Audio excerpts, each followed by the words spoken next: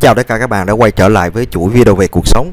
Trong cái video trước có một bạn, nick là Khôi Khôi, Đã có những cái bình luận mà thật sự là tôi rất thích. Chẳng hạn như rằng là Bình luận đầu tiên, Bạn có hơi hiểu sai về khi tôi nói rằng là đàn ông mất mặt như mất mạng. Cho nên rằng là bạn đưa ra cái suy nghĩ, bạn hơi bối rối. Thì tôi mới trả lời với bạn như thế này.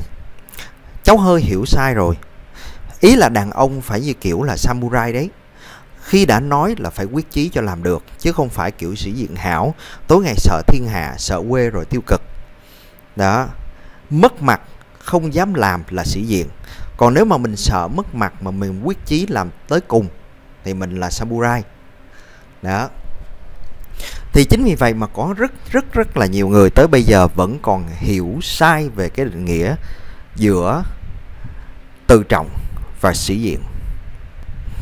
Đó sĩ diện thì tôi nói thật chứ lúc nào cũng sợ người ta đánh giá. Rồi sau đó không dám là chính mình. Cho nên rằng là khi mà bạn đưa ra cái bình luận thứ hai um, lúc mà tôi có nói về những cái người mà yếu kém mà hay đi học những cái khóa học hạnh phúc á thì bạn mới nói à, người ta học là hạnh phúc rồi thôi mừng cho người ta đi chú đó, quá khứ làm người ta yếu tâm lý là người ta đã thiệt thòi rồi. Tôi mới trả lời, thế thì cháu hãy nhìn vào bao diễn giả giàu lên nhờ những kẻ yếu kém mà chúng ta hay gọi là lùa gà chưa? Kẻ yếu kém có học mấy cũng vậy, hết khóa quay lại xã hội vẫn là những kẻ than vãn. Các bạn thấy không? Sĩ diện hảo thật ra là nó là một cái biểu hiện của những kẻ yếu kém, những kẻ không tự tin vào bản thân mình đó, thì tối ngày mới sợ người ta đánh giá về mình. Đây, còn cái người tự trọng là gì? Không đợi người ta chửi đâu.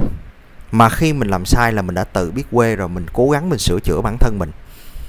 Cho nên là dám nghĩ, dám làm, dám sai, dám nhận. Cái câu này tôi vẫn nói hoài.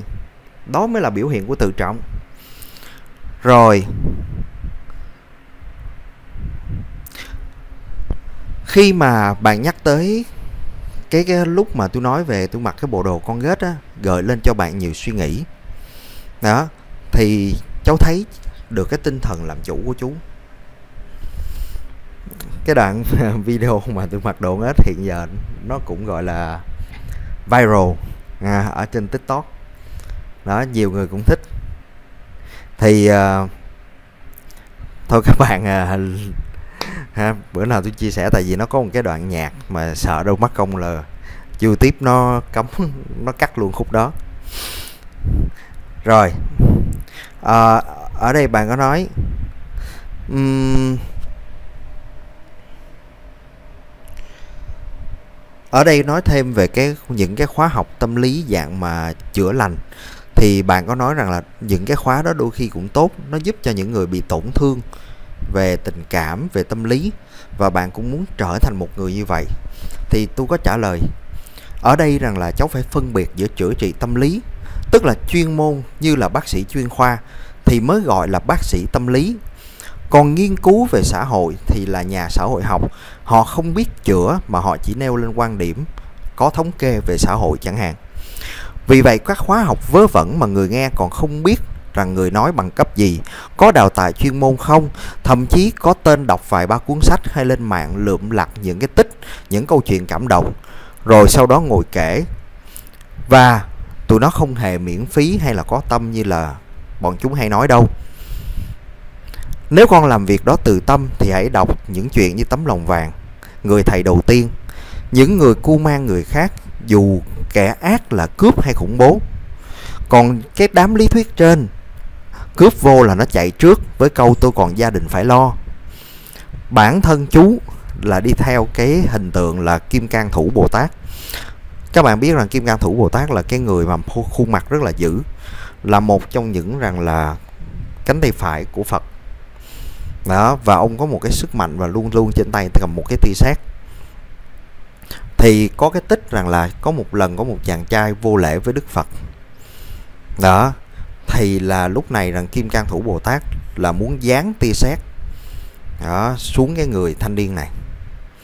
Rất hung dữ. Cho nên rằng là chú nói chú ghét cái loại yếu đuối và hay đổ thừa cho hoàn cảnh. Càng ghét cái bọn mồm mép mà hay giảng đạo. Đó. Có xem những video ngày xưa chú nói chú bị xì ke chấn lột. Các bạn nhớ không? Lúc đó tôi la lên kêu cứu có một cái thằng đi ngang nó thấy. Nó thấy xong rồi nó đi luôn lát nữa nó thấy mình lại nó quay theo nó ngó. Bản thân nó nó chạy ra, như người ta nó chạy ra đường nó kêu không. Nó lờ luôn. Vì vậy mà từ đó về sau, chú phải học cái cách để tự bảo vệ mình. Cho nên con thất bại không phải do xã hội, do bản thân con đã là kẻ hèn kém đã. Đó. Thì chính vì vậy phải nói rằng là bạn khôi khôi này, bạn cũng cảm ơn vì chắc không biết là đây là lần đầu tiên bạn coi cái clip của tôi hay không. Đó. Đây.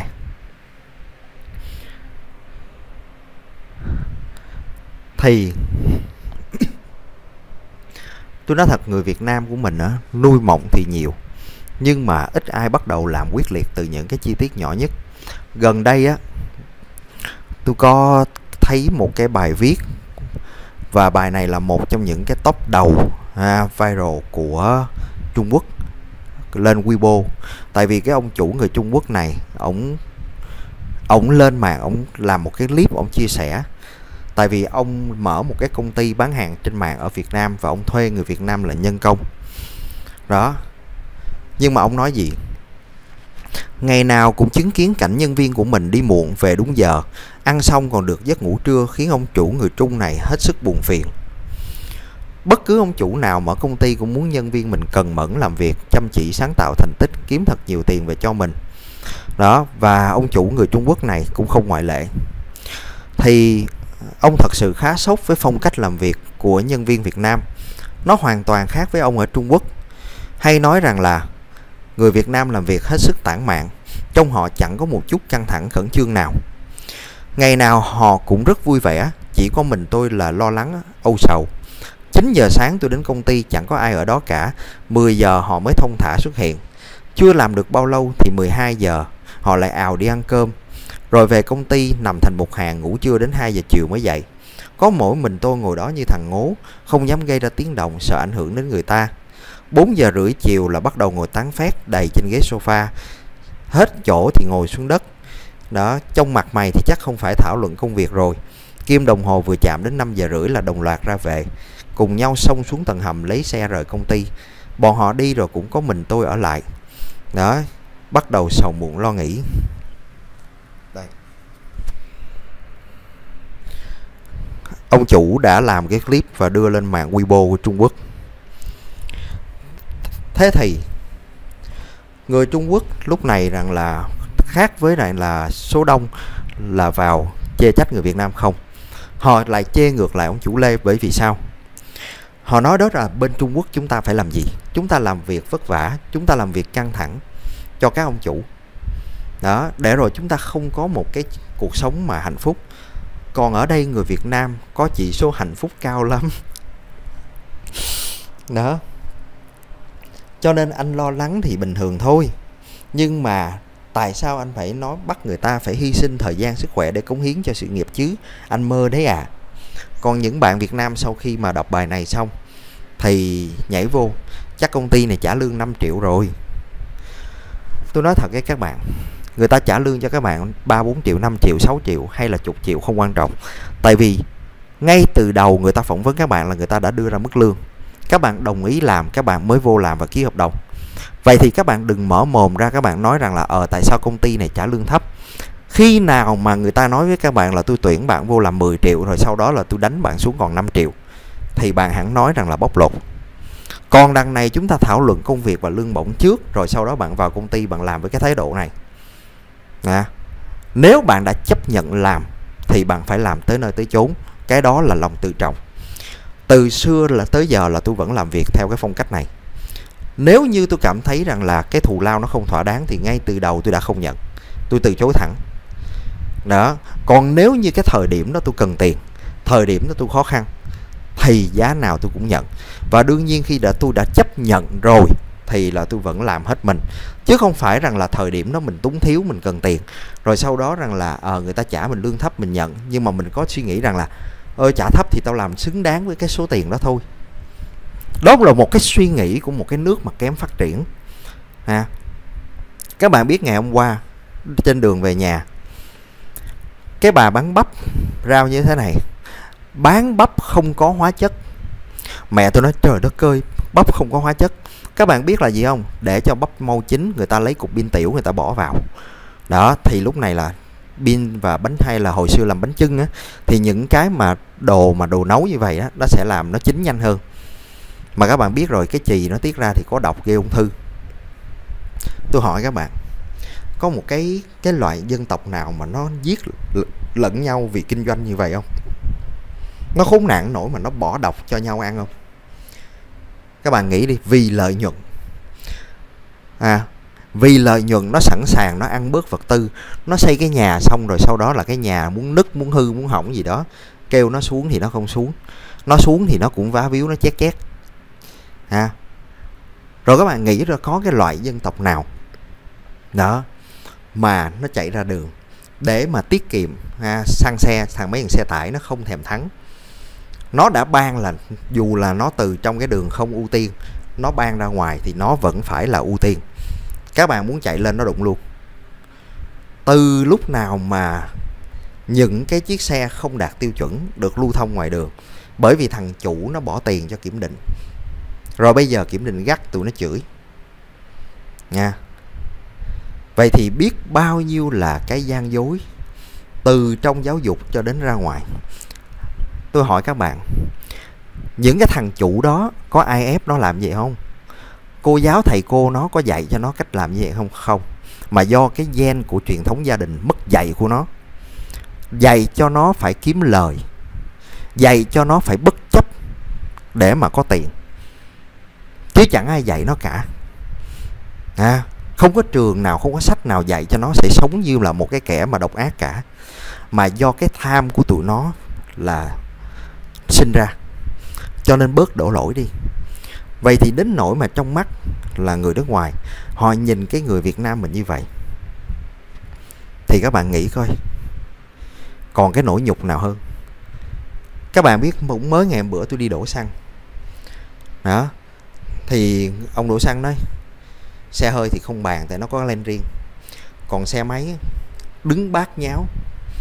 À, thích đứng chỗ nào đứng lúc thì đứng xa cho người ta lúc thì đứng quá gần. À, cái tôi nghe ông ờ, đổ xăng than phiền cái tôi mới nói trời ơi anh việc cái này mới là Việt Nam mà. Thì ông mới đúng rồi cái này là chỉ có Việt Nam độc quyền. Các bạn không bao giờ mà các bạn vào một cái cửa hàng thức ăn nhanh mà thấy người Việt Nam xếp hàng. Đến sau và đến trước đều tràn ngang qua cái bàn. À, để rồi ngắm nghía rồi gọi món. Không biết nhường. Ừ. thì chính vì vậy mà thật sự ra thì người Trung Quốc, tôi cũng thấy một cái đoàn Trung Quốc nó qua Việt Nam rồi. Nó đi bất chấp luôn cả đèn. Đèn là cấm cho người đi bộ, cả đoàn khách Trung Quốc nó kéo qua, nó vừa cười vừa nói. Thì lúc đó trong đầu tôi nghĩ, mình nhìn người ta, mình thấy nó ghê. Nó ghê không phải vì mình là người Việt Nam, nó là người Trung Quốc, mà nó ghê là bởi vì là mình không làm cái điều đó. Đó, mình không bát nháo với tụi nó cho nên là mình thấy ghê vậy thì không phải rằng là chỉ người Trung Quốc mà khi tôi thấy người Việt Nam làm cái cảnh đó, tôi cũng thấy ghê như thường. Cho nên tốt hay xấu là mình soi lại mình, chứ không phải mình soi quốc tịch của người ta. Ở đây cũng vậy. Đó. Với một cái tư tưởng hèn kém, thậm chí lên mạng, còn là nói rằng là trời này chắc công ty trả lương 5 triệu 5 triệu mới phải làm biến như vậy 5 triệu là vô làm cho có. Với cái tư tưởng đó thì làm sao mà khá được? Hôm bữa cũng vậy có một bạn giáo viên. Tôi nói rằng là khi mà dạy online á thì giáo viên có nhiệm vụ phải quay lại và đưa vào à, cái thư mục ở trên mạng để phụ huynh hay kia người ta có thể coi được con ta học như thế nào. Cứ họ dạy xong là phải up lên. Thì có một bạn giáo viên tôi đợi hoài đợi hoài không thấy up. Tôi nhắc hai ba lần cũng không up. Đến nỗi tôi nói luôn tôi không biết rằng là bạn có dạy nhiều hơn tôi không, mà bạn không có thời gian mà cỡ 5 phút để làm. Thế là bạn nói, bạn xin lỗi, bạn nói là do bạn có cài cái hệ thống tự động, nó tự lưu. Để lát bằng lưỡi cho tôi đường link. Tôi nói ờ được rồi, gửi đi rồi, sau đó tôi tự đau về, tôi tự up luôn giùm cho. Thế là bạn nghe vậy bạn mới bạn mới chột dạ. Bạn nói dạ xin lỗi, lát nữa bạn hứa bạn làm. Và quả thật bạn gửi tôi đường link, tôi tự đau tôi tự up cho phụ huynh coi đó. Thì tôi chỉ nói với bạn một câu thôi. Người giỏi hơn nhau là ở cái sắp xếp. Sắp xếp công việc nhiều mà mình vẫn thấy người ta nhìn vào người ta thấy mình nhàn là giỏi. Đó. Cho nên thật sự rằng, với cái công việc tôi dạy, chẳng hạn, các bạn có hình dung được rằng là tôi dậy lúc 5 giờ kém thường là khi mà đi đa, liên tục lúc mà tôi ở Long Thành thì thường là sáng là khoảng chừng 5 giờ là phải dậy rồi sau đó là chạy về thành phố. Đó và chính vì vậy mà chạy về xong là dậy thường là có ca 8 giờ. Đó còn hôm nào mệt lắm luôn rồi đó đành phải nghỉ ca để mà 10 giờ dậy tiếp. Thì chính vì vậy mà trưa thì tôi không có ngủ trưa. Đó chỉ khi nào mà kiệt sức lắm tôi mới ngủ còn bằng không là chưa vẫn thức. Cho nên có những cái mà khi thức nó có một cái thời gian cho riêng mình. Chẳng hạn như rằng là à, chơi game uống cà phê hay là ngồi đây quay clip cho các bạn trong thời gian rảnh nè. Đó. Thì đó là những cái không gian riêng mà tôi nghĩ rằng là nó hồi phục về cái tinh thần chứ về cái thể chất. Tức là nó làm cho cái tinh thần của mình nó thoải mái ra rồi để lát nữa mình làm việc nó hiệu quả hơn chứ bạn đừng nghĩ rằng là bạn làm quần quật như trâu như bò. Thật sự ra làm quần quật, tâm lý không thoải mái. Nè, thì lát nữa cái hiệu suất nó cũng chẳng cao được. Cho nên các bạn làm việc khoa học là các bạn phải cân bằng được cái cuộc sống, tâm lý cá nhân của mình. Đó. Thì tôi mới nói rằng là người giỏi, họ giỏi sắp xếp, cho nên nhìn thì tưởng họ nhàn. Chứ thật ra cái hiệu suất và hiệu quả công việc họ hơn rất nhiều người. Đó họ hơn. Cho nên các bạn mà được làm việc chung với những người giỏi, thì các bạn sẽ hiểu rằng là thật sự công việc các bạn cần 10 tiếng 20 tiếng, thì họ chỉ cần có ít số giờ hơn các bạn. Thậm chí có khi các bạn mất 20 tiếng, họ chỉ cần 2 3 tiếng họ giải quyết được công việc. Đó. Thì đó lý do mà tại sao người ta làm sếp còn các bạn cuộc đời mãi làm lính mà các bạn không biết. Tại vì cái thực lực nó mới quan trọng cho nên nhiều khi tôi mới nói rằng là khi tuyển nhân viên, đúng là với những người mà mức lương 5 6 triệu tôi cũng chẳng đòi hỏi nhiều. Tôi chỉ họ đòi hỏi rằng là họ làm những gì họ được giao thôi. Chứ còn tôi cũng không mong là họ sáng tạo. Tại vì nếu như họ sáng tạo thì họ đã không có cái mức lương đó. Chắc chắn. Tuy nhiên, tôi vẫn có những cái mà khen thưởng nếu như mà họ xuống tinh thần. Tôi vẫn nói là gì? Họ có những cái thưởng thêm khi mà cái chỉ tiêu nó thêm à, cái doanh thu nó thêm. Thì các bạn đương nhiên sẽ được nhận những cái phần thưởng. Đó. Và các bạn làm thêm giờ các bạn đều có những cái mà phải trả thêm. Đó. Và cái quan trọng hơn nữa là khi các bạn đến chỗ làm các bạn sẽ không bị người này người kia nói xấu sau lưng. Rồi các bạn sợ rằng sếp sẽ đi mình các bạn không cần phải sợ điều đó. Tôi nói với nhân viên của mình. Tôi không cầu và tôi cũng không níu kéo. Cho nên các bạn ở đây làm việc là do tôi tuyển. Tôi thấy các bạn, tôi nhìn người, tôi tin được các bạn, tôi mới tuyển. Vậy thì nếu như mà các bạn muốn đi, chẳng hạn chỗ khác trả lương cao hơn, các bạn cứ đi. Các bạn cứ đi không sao cả, tôi không giận. Chỉ cần rằng là khi nào các bạn đi ngang các bạn đều ngó lên cái nơi mà mình từng làm. Và các bạn nhớ nó, có nghĩa là các bạn có tình cảm. Còn nếu đi chỗ khác mà nó lại không tốt, các bạn cứ quay về. Trừ khi các bạn sai phạm lớn đến mức mà tôi đuổi thì không bao giờ các bạn được quay về thôi. Còn lại các bạn phát triển được thì các bạn cứ đi. Đó lý do tôi không níu giữ. Và khi mà các bạn làm ở đây như vậy, việc ai nấy làm hôm bữa tôi mới nói với lại cái bạn BT ở trên phòng tập. Nhiệm vụ của em là giữ khách nhiệm vụ là kéo khách là của các bạn tư vấn. Không có các bạn tư vấn thì em cũng không có khách. Em không có khách thì em cũng không có được thêm cái lợi ích. Và đương nhiên nếu như em không giữ khách được thì doanh thu giảm các bạn cũng không được thưởng. Thậm chí cô lau công ở đây cô lau dọn rất là sạch sẽ. À, thì khách người ta mới vui vẻ người ta ở lại vậy thì từng cá nhân ở trong đây đều đóng góp cho sự phát triển chung. Em đừng nghĩ rằng là à bộ phận kia không liên quan tới mình mình không cần giúp. Và bộ phận khác cũng vậy không nghĩ rằng là ờ à, em cũng chẳng là gì họ cũng chẳng cần hỗ trợ em sai. Tất cả mọi người ở đây là đều hỗ trợ cho nhau. Đó. Thậm chí sau này cũng vậy. Nếu em có chuyện vui không phải là tôi dự đó bạn chưa đám cưới tôi mới nói nếu sau này đám cưới em đi. Tôi sẽ không phải là tham dự với lại một cái vai trò chỉ là một cái người mà, người chủ, mà tôi sẽ tham dự với tư cách em là một người trong gia đình. Đó. Em làm ở đây, em là một người trong gia đình. Đó. Em phải hiểu được cái điều này. Cho nên mọi người cố gắng, mọi người phấn đấu, mọi người biết buồn thì tôi nói, em nghĩ hôm bữa vậy. Đó. Bạn thấy con ếch con ếch có lên phòng tập chơi, thì bạn nói, ui, em cứ tưởng đâu là anh thuê người chứ. Nói, không, anh nó trọng á. Ừ. tại vì thật sự ra cái gì cũng thuê người thì nó lại rất mắc tiền. Mình phải tiết kiệm. Tiết kiệm được đồng nào hay đồng đó. Cho nên có những cái anh tự làm. Đó thì tôi mới nói bạn,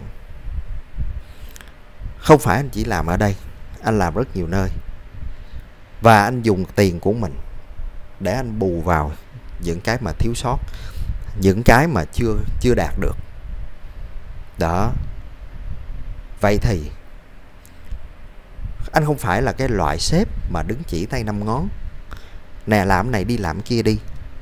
Mọi người cũng sẽ thấy anh làm. Nè thiệt sự, khi mà các bạn nhìn tôi ở ngoài, tôi giỡn.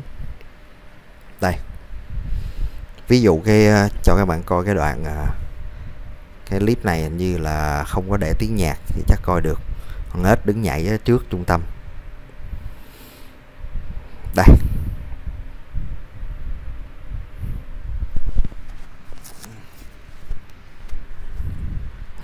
Các bạn có biết rằng là đứng trong cái bộ đồ này nhảy nhót. Nó như là một cái cái lò sông ở bên trong. Nó nóng cực kỳ. Đó. Chỉ một tiếng đồng hồ thôi mà tôi cởi cái áo ra ướt mem. Ừ. đây. Vậy thì không phải rằng là muốn ai muốn mặc thì mặc. Mặc rồi còn phải biết diễn. Có nghĩa rằng là tôi không nói được mà tôi phải biết diễn. Những đứa bé nó hỏi, chú ơi, chú, con ếch con đâu rồi? Cái tụi nó nói à ếch đi ngủ rồi. Tôi gật đầu. Đó, thì có những cái nó thiên về cái tố chất, cái năng khiếu. Không ai dạy tôi làm con ếch cả. Đó là lần đầu tôi mặc một cái bộ đồ mà hóa trang như vậy. Đó, không ai dạy cả. Cho nên vì cái cuộc sống vì cái sự phát triển, mình phải làm những điều mà thậm chí mình chưa bao giờ thử. Mình được mất mặt, mình được xấu hổ, không không có gì mất mặt xấu hổ cả. Bởi vì mình có kiếm tiền mà sai trái gì không không? À mình có gian dối ai không không? Mình đem lại niềm vui cho người khác. Mình kiếm tiền bằng cách mình đem lại niềm vui cho người khác. Đó. Vậy thì cái công việc của các bạn mà các bạn làm cho người khác có những cái hướng tích cực hơn. Đó, thậm chí thấy người ta sai, mình phải la. Chứ không phải rằng là lúc nào cũng vai bồ tát. Tôi thấy một cái đứa mà tự tử chỉ vì rằng là, nói rằng là gia đình không quan tâm. Tôi dễ nóng lắm. Nè, tôi nóng với những cái đứa mà ngu như vậy nhưng mà tôi nóng không phải là là vì tụi nó ngu, là vì vì tôi khôn, mà vì tôi cũng đã từng ngu như vậy. Tôi cũng từng nghĩ rằng là gia đình không quan tâm đến mình. Để rồi tôi sai phạm.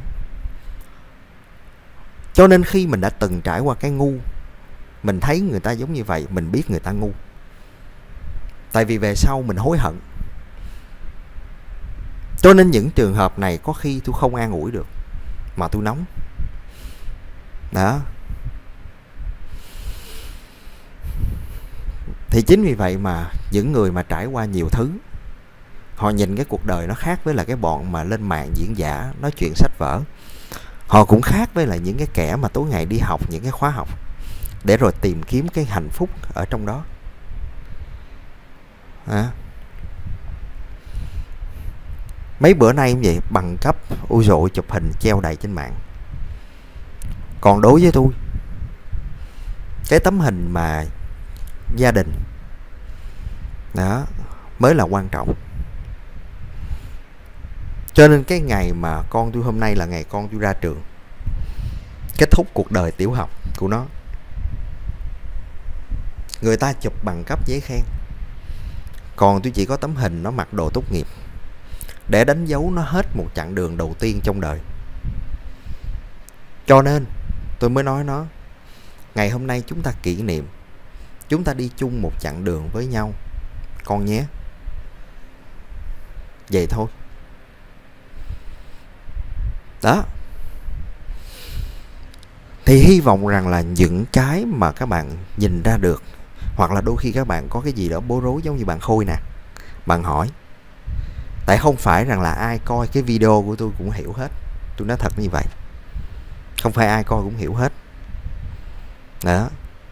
Thì cho nên tôi sẽ giải đáp. Nha. Đó. Cuối cùng thì xung quanh nếu thật sự mà chúng ta cùng phát triển nha. Những người mà tôi thấy sau này gặp tôi nói rằng là ờ sau khi mà coi những cái mà tôi chia, chia sẻ các bạn đi làm tốt hơn các bạn có một cái hướng đi, các bạn kiếm thêm tiền, ha, các bạn nhận định nhiều hơn về cái tình yêu và cuộc sống. Thì cái đó là những cái lời mà động viên rất là tích cực. Và chính vì đều điều đó là cái động lực để tôi tiếp tục giữ cái kênh này. Nha thôi, cảm ơn các bạn đã xem. Hẹn gặp lại.